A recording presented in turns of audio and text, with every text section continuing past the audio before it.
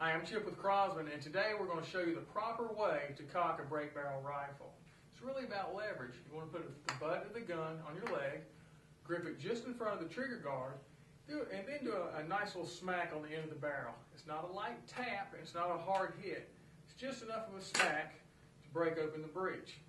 If you grab the end of the barrel, this will give you the most leverage. Grab the end, swing it down. Now you're open.